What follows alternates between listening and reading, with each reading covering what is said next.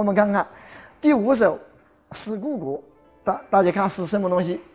他说：“蓬莱宫阙对南山，城楼津津晓汉江。西望瑶台将王母，东来紫气满函关。云移之尾开宫上，日扰龙鳞思圣阳。已卧沧江今岁晚，几回青锁点朝班。”这点是。这是思故国当年强盛的时候那种威朝廷的威仪，写的实在是太好了。大家看看，蓬莱宫阙对南山，大明宫对着什么？终南山，听懂了没有？我我在这里说吧。那那个摄影啊，实在是太重要了。我们我们在那个照片上看到天安门了，好像好威武一样，对吧？但你真到了天安门去了，不好看，我不敢说，但但是没有照片上那样的，对吧？好威武，好威武。但是没有去过的人应该去看一看。我我我我第一次到故宫，以走进了故宫，感觉我觉得，我我那个时候是八十年代，我都还没有不过如此，因为我是个乡巴佬，对吧？你到了故宫，我觉得皇帝生活的好。好哇，奢侈啊？这么多房子，你知道吗？一个人哪拥有那么多了的？去多了，我觉得也就是那么个样子。说实话，我觉得在那里生活也未必就好，对吧？但是它有些宫建筑的确是宏伟。北京的宫殿的建筑，你把泰国的宫廷的建筑一看就知道，北京的整个建筑显得非常的厚重、大派。你到北京，你一直到哪怕现在的长安街。你到长安街一走向就知道，还真的有大国气象，对吧？那种街道非常的辽开阔，它那些房子，尤其是那些老式建筑，就显得非常的厚重。它不是整个北京的建筑不是以精巧著称的，它那些瓦、那些墙、那些围宫墙显得很厚重，显得很大派。他说：“蓬莱宫阙对南山。”城楼津津晓汉间，呃，汉武帝啊，为了成仙，用个很大，在一个大一个杆子身上就有个城楼盘，听懂了没有？城楼津津晓汉间，大家再看看，西望瑶台降王母，东来紫气满函关，这是写在，大家注意。有人认为这是讽刺，其实我和大家讲吧，这是写大唐帝下气帝国啊，那在最强盛的时候，到处是锐气仙仙气，听懂了没有？他写那个大唐帝国那种气象啊，有人认为是，有人认为是，是讽刺当年的唐玄宗和杨贵妃迷信神仙，其实这个说法不对。这前面的六句都是写大唐帝国那种强盛的时候，那种皇宫的威仪。为什么？为什么说西望瑶台降王母，东来紫气满函关？我和大家讲，它是以整个皇宫啊，笼罩着一层什么锐气、仙气，显得非常的神秘。我现在到了，比如说你到了天安门。你觉得不这么神秘了？听到没有？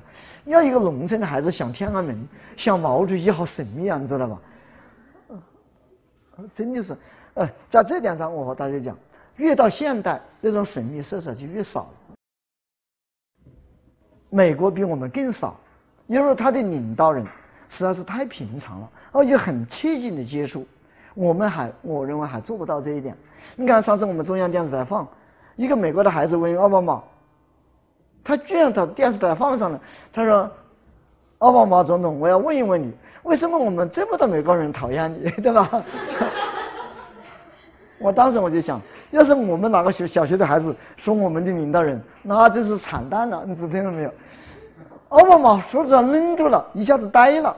他说：“还是有很多人不讨厌我，哈哈哈因为他把他看成了人，不是神。他希望瑶台降王母。”东来紫气满函关，他他写出了那种有仙气、锐气、沉祥的那种东西。好，我们再看看底下，当蒲吉龙的理解比较好，在《豆豆信解》中间，蒲吉龙说：“大家看看，他说金金紫气、瑶池等等，总为地金色色，抹上一层富贵华丽那种神秘的色彩。”他说：“该以上帝高居、群仙拱相为比。”这个讲的是比较对的。其实对唐玄宗，我和大家讲吧，整个大唐帝国的人对唐玄宗有一种非常矛盾的心理，听懂了没有？一方面，唐玄宗人也长得帅，又有才华，又风流浪漫，他正是把在大唐帝国的时候，他把大唐的那种强盛、风流浪漫，在他身上真表现的无以复加。开元之治也是不得了的，听懂了没有？好。但是他老人家也的确浪漫过了头，听懂了没有？最后想想把天下都搞丢了。但总体上讲，他是我不认为他是个，反正我对他有比较好的印象，比较好的印象。我们再看看底下，就三四句，写当时的国家沉浸在一种富于浪漫幻想的美好氛围之中，到处都是喜庆祥云，瑞气环绕着。在错超额的宫殿和喜气强云的背景下，诗人和当时人们心目中间最神圣、最尊严的皇帝就出来了。你看，在前面是把他的气氛都烘托的特别好，你看底下就来了。底下什么？大家我们看看五六句：云移之尾开宫扇，日绕龙鳞思圣阳。好神秘啊！皇帝上朝之前呢？那个野鸡那个扇子把皇帝的样子扎住了，听懂了没有？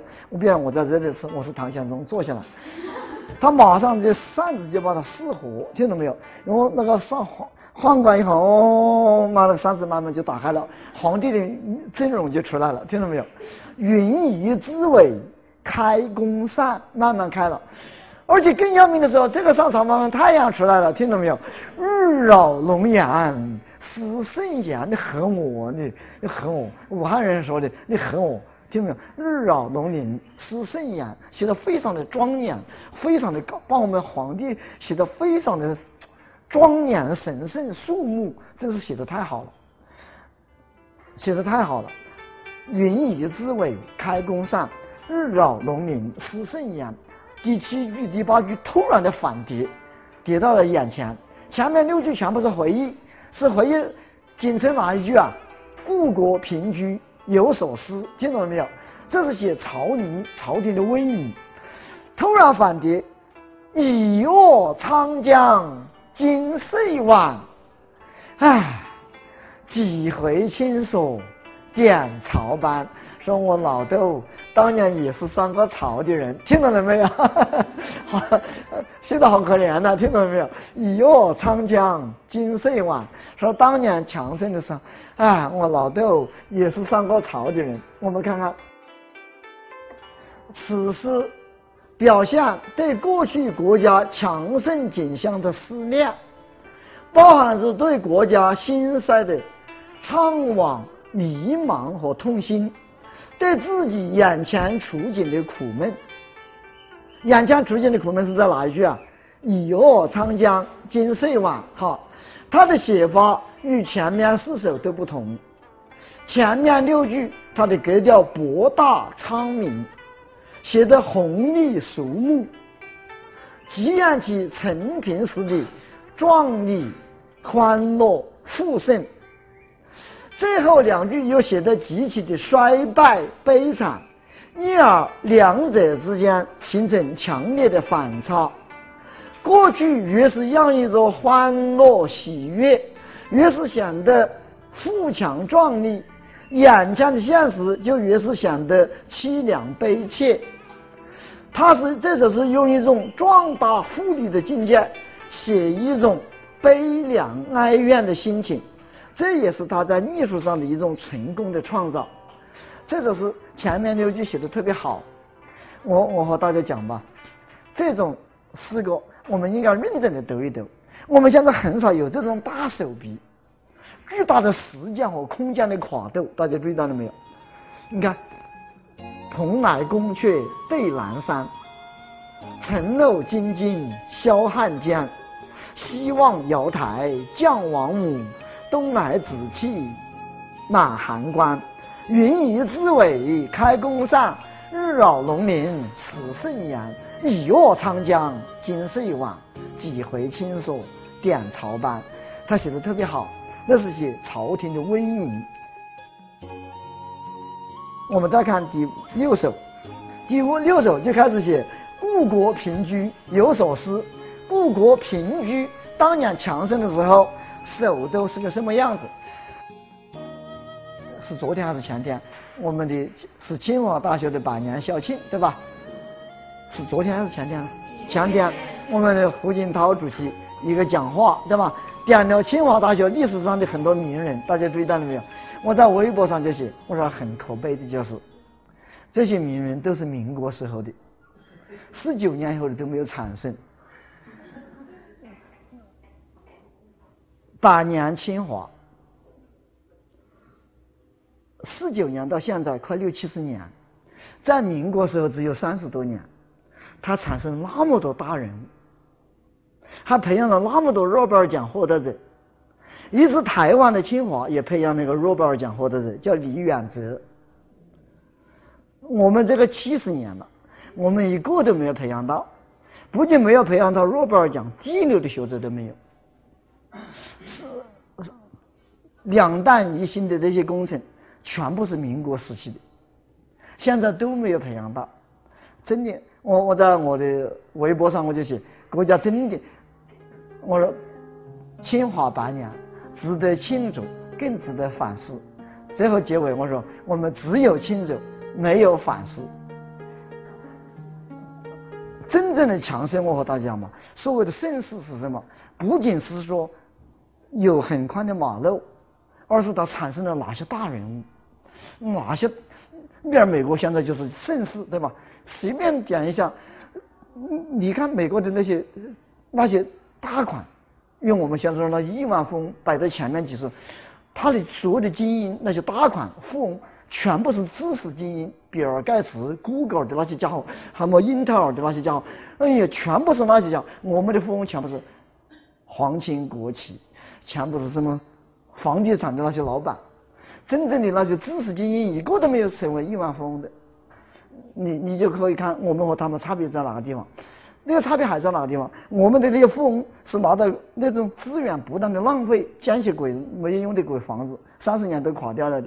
他们的那些富翁，Google 和那些微软还有英特尔，都全部是不要资源的，听懂了没有？那个鬼微软就。一块薄板板就是几千几千，对吧？他是不要资源的，我们这些父母是要浪费很多资源的。他他们出卖的是知识，是智慧，我们是卖的裤子，卖的花生米。嗯，上次我们薄熙来当商务商务部的部长就说，我们卖一条裤子才能买到你们一架飞机回来了，你还要鬼叫鬼叫。我我认为盛世就是有那个名字要有有一种创造。我我认为从唐太宗一直到唐玄宗的开那种早期早中期，那真的是我们民族的盛世，产生几多人物啊，李白、杜甫都在唐唐玄宗手上产生的。我们这个时代如果产生一个李白或者产生一个杜甫，那就算盛世了。我认为。呃，真的是这样的，一个都没有产生出来，我觉得这是太可悲了。再我们再看看，他又是回忆盛世，就是故国平居有所思。我把这首诗讲快一点：瞿塘峡口曲江头，万里烽烟解素秋。花萼夹层通玉砌，芙蓉小院入边愁。珠帘绣柱围黄河。锦缆牙墙喜白鸥，回首可怜歌舞地，情中自古帝王州。他写作手法上又是第五、第六句、第七句开始怎么样啊？反叠，前面六句就写故国平居，他是写当年的什么？衢江风景胜地。你看，瞿塘峡口曲江头。万里烽烟解素秋，这真是巨大的空间跨度。曲塘峡口是他现在那个地方，听懂了没有？三峡，曲江头是在哪个地方啊？长安。他用哪一句来连起来呀？万里烽烟解瘦秋，为什么接起来？他说都是在秋天，其实很简单。他说我们现在的瞿塘峡口和曲江头都是这么样，万里烽烟解瘦秋。大家来看看，花萼夹层通玉器，芙蓉小院入边愁。这第六、第四句稍稍有一点讽刺。但是比较轻微，大家注意，花萼夹层通玉器，芙蓉小院日边愁。大家注意，花萼夹层，花萼楼，花萼就是花萼楼。唐玄宗置入新建宫的西南，西南面建了这栋楼，西面题为花萼相会之楼，南面题曰。勤政务本之楼，老实说，唐玄宗到晚年是有点不像话，听懂了没有？什么勤政务本？他主要是搞这个花萼楼了。好，我我注意注意，并在开元二十年六月，在大明宫走了夹层湖道，和那个曲江的芙蓉院相通。为什么得搞个御道？为什么？那个御道专门供哪个走的？供皇上到曲江去玩走的。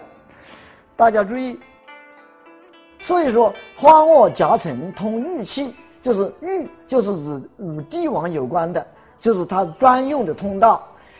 芙蓉小院入边愁，芙蓉院就是在曲江，小院入边愁，这里面稍稍有一点讽刺，但是比较轻微，主要是有大唐帝国当年的强盛，当时的奢华，那里的非常的美丽。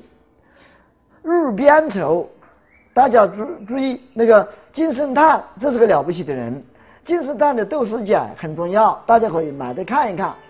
他说：“玉器用于通字，何等融合；边愁用于入字，出人意外。先生字法不伤纤巧，而耀人心目如此。”他那个评价非常好，他读的特别细，通字显得。当时的曲江幽静美丽，却头上了一层高贵的气派。入字是说西北边塞的叛军打破打破了人们和皇帝喜游易乐的安宁墓，是那样的突然和意外。诗人马上再就不写边愁了，马上还是写当年的强盛。你看，珠帘绣柱。为黄河，锦缆牙墙起白鸥。嗯，大家如果要显示一下皇城的气派，我觉得首先应该到北京去玩。我走过一些城市，最好玩的，我认为还是北京，实事求是的谈。广，可能广州人不是这样看的，对吧？上海人不是这样看的，但我认为上海真的没有什么玩头。广州我觉得也不那么好玩，广州最好吃，我觉得广州、深圳、嗯、澳门和香港吃的最好，可能适合我的胃口。我觉得这辈子没到那去吃，真是终身遗憾，对吧？那吃的真的是好，但我觉得玩也就是那么个样子。嗯嗯，北京我觉得比较好玩。而且街道，有可能我我这个人我不喜欢那种很直的街道，我也不喜欢弯弯曲曲的街道。北京的街道好直啊，知道吧？哎呀，直根直线的，嗯，给人感觉好好。一个北京，一个长西安，都街道很直，给人感。武汉的街道就是沿江而建的，哎呀，弯弯曲曲的，七弯八拐，哎，反正我这辈子在武汉生活，我觉得很窝了。珠帘绣柱为黄河。锦缆牙墙起白鸥，是写的那种富贵奢华的景象。珠帘绣柱，哎呀，到处是曲江的两面，到处是珠帘，到处是绣柱。那些鸟儿、白鸥、你黄河都在那里起飞。锦缆牙墙是什么意思啊？那里面有船，那船上那些桅杆呐，是当然它太夸张了，是锦缆，是什么？是用什么做的？是用象骨生压墙做的。那当然是它，就是说非常富贵的景象，起半欧，而且到处是一片什么啊？陈平安乐的景象。锦缆压墙起半欧。第七句、第八句突然的反跌，回首可怜歌舞地，秦中自古帝王州。哎呀！可怜呐，自古的帝王州现在一片瓦砾，到处非常糟糕。好，我们看看最后，我们看看这首诗。这首诗在艺术上也是陡起陡结。开头横空而起，瞿塘峡口曲江头。尾句急转，很有特色。盛时歌舞地的繁华，饱含着诗人深情的意念。结束的时候，好像从甜梦中醒来，无限的低回往复，咏叹有情，和上首一样。这首诗他用了很多很多华贵的意象，它构成这首诗那种富丽的境界。只用了一句“回首可怜”四字，使这些富贵豪华。成了现实荒凉冷落的反衬，诗人无限的痛苦、无限的惋惜、无限的悲伤，在这种反衬中透露出来。再加上，再加回头看，看一看这些富丽繁华的歌舞平生之地，正是使人胆战心寒。这就是蒲吉龙的讲话讲得特别好，我们看看蒲吉龙，因为他用文言文讲的，这我把它讲完，我们就下课。他六章就曲江头写望京华，是此愿也。为所思之二，所思之一是什么？朝廷上朝的威仪，记不记得？之二是写曲江，是写词苑。当时的，此诗开头便带出夔州法变，曲江、曲塘、曲峡、曲江相映万里。次句钩索有力，钩索他用什么？万里烽烟解寿秋，他说钩索特别有力。顺便潜如秋字，为什么说潜如秋字啊？万里烽烟解寿秋，切题潜如秋字。何等精洁！宗室乃深写曲江之四变景象，莫以嗟叹熟之。熟就是结束。总是一片深情意想之神，一步步为手手简说衰说盛之纷纷也。为什么说首简？就是世俗的理解。说衰说盛什么意思？就是关于这首诗。到底是说兴盛还是说悲哀？有不同的意见，纷纷争论不休。他说这首诗是写盛唐的气象，主要是写盛唐的气象，但是它也有强烈的反叠，有强烈的反叠。钱谦益的前注都是，他说珠帘绣柱是指楼地木料之帘幕之烟华，锦缆压墙是指。水系昭昭之炫耀，总之是写盛唐时候的欢乐、奢华、富裕。我们下一次我们再讲他的七首、第八首。我再顺便说一下，秋兴八首都要求大家背，都要求大家背。好，下课。